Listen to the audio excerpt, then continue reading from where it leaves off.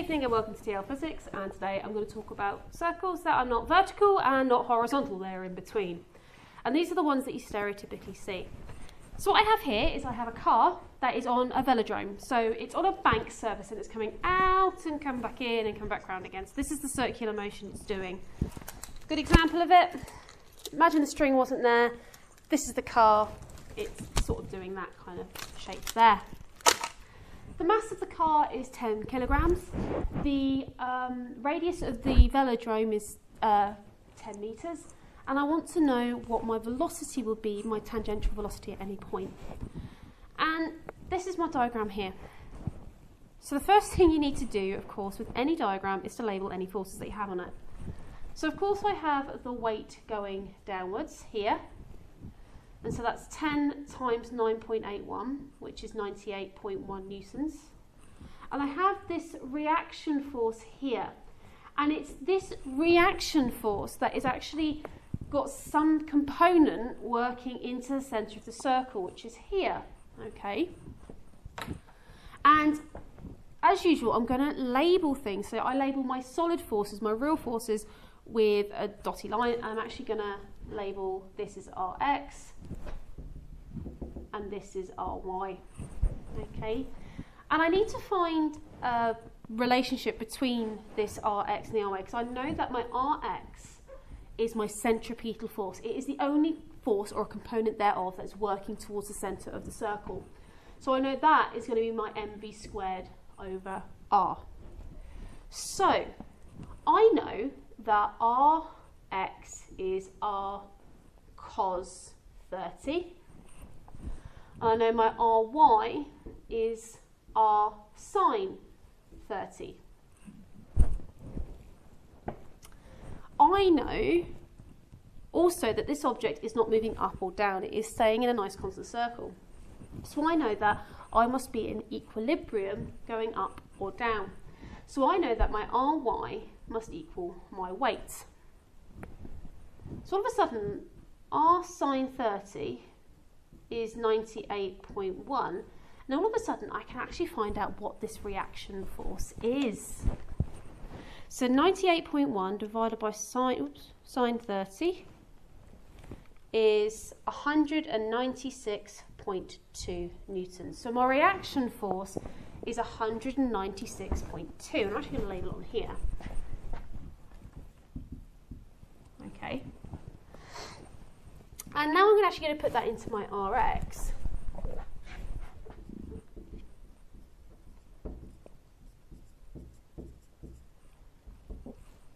Here.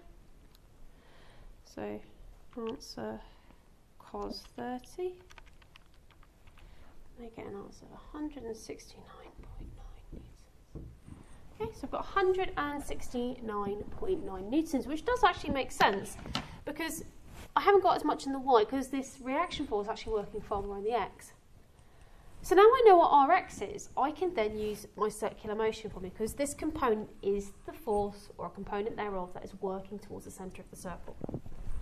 So I know 169.9 equals 10 times v squared over 10. Okay, so 10 divided by 10 of course is 1 which means that v squared is 169. So I'm going to square root that v, and I get my velocity is 13 meters per second. Okay. Now this is why I was saying in my previous video about horizontal circles, well, they can't actually exist. Because this reaction force is the thing that's causing the centre of the circle. If the bank was getting more and more sloped, okay, so it's actually getting more and more tilted, less and less of this reaction force will work towards the centre of the circle. To the point where you're completely at 90 degrees here, that there is no reaction force. And the same goes for string. Tension is a reaction. At the moment, this string has no tension in it.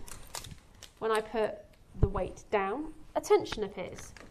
And you can kind of see this at the top here of horizontal vertical circles, which I'll be talking about in my next video, about how the tension as it goes round actually starts to change. Okay. So this object here is at a horizontal. You can do this for all sorts of things. So I can actually do this for a lasso. So let's take this here. And let's have a lasso. Okay, so here's my rope and it's got some tension in it and it's on a lasso that is going like this. So sort of the ones that the sort of cowboys would use, etc. Okay, and I'm going to say that this knot here has a actually no, we're not going to say this word. I'm, I'm saying I'm actually going to put a tension. I'm actually going to be pulling this rope with a tension of 40 newtons, and it is at 60 degrees to the centre of the circle. The radius of the lasso is one metre, and I want to know how fast. So I want to know how many revolutions per second. So I want to find omega. So I need to find the part of the force that's working to the centre of the circle again. So this is tension, this is Tx, and this is Ty. Okay. Now, here, as you can see, I'm not really bothered because I actually do know what T is. So I don't need to do any balancing or acceleration here.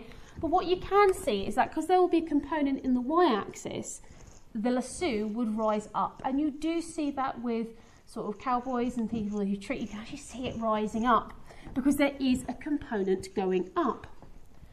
So let's find out. Let's find Tx because I know that's the force or the component thereof working into the centre of the circle. So Tx is 40 cos, whoops, uh, 60. So that's going to be, if I just put that into my calculator, 40 cos 60, and that's going to be 20, okay? So that's 20 newtons going to the centre of my circle, and that is my resultant force.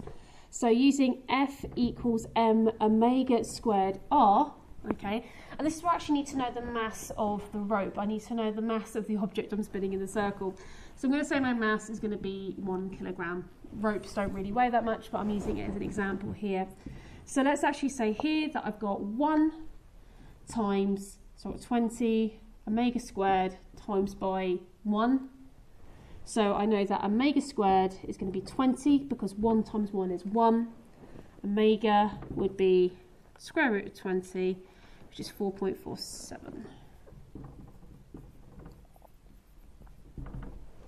Okay, so these are all angles that have forces that are working at separate angles. Okay, so this is a not quite vertical, not quite horizontal, working in both axes. This one here was just using the straightforward, I know what the tension was, and working out the angular velocity. This one here was an interesting one where I had to look, for, I only had the weights, all I had. But by drawing labels and understanding about equilibrium, I'm able to work out what this reaction force is and therefore work out what is the force acting to the centre of the circle. And that is uh, basically um, sort of circles at an angle.